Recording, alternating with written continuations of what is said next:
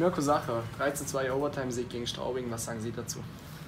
Äh, ja, war, denke ich, ein verdienter Sieg. Wir sind gut aus der Kabine gekommen, haben im ersten Drittel richtig viel Druck gemacht. Dann das erste Gegentor gekriegt in Unterzahl, haben sie gut gespielt. Ähm, aber es hat uns nicht aus der Bahn geworfen und wir haben das ganze Spiel äh, unser ja, System durchgezogen und dann äh, ja, verdient gewonnen. Am Anfang von der Amtsperiode von Niklas Sundblatt kamen drei Niederlagen, nun drei Siege. Geht es aufwärts? Ja, auf jeden Fall. Ähm, ich denke, es war schwierig, das System gleich umzusetzen. Ähm, aber ja, es wird von Spiel zu Spiel besser und ja, darauf müssen wir jetzt aufbauen. Also glaubt man noch fest an die Playoffs? Ja, auf jeden Fall. Also wenn wir so weitermachen, ist, denke ich, alles möglich. Wird verdammt schwer, aber ja, sind auf jeden Fall noch die Chancen da.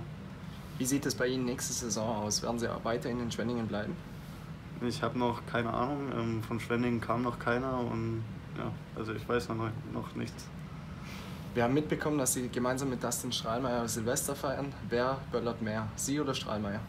Puh, ich denke eindeutig Strahle. Ähm, weiß jetzt nicht, wie es mit seinem Hund ist, ähm, aber ja, früher war er da schon extremer wie ich.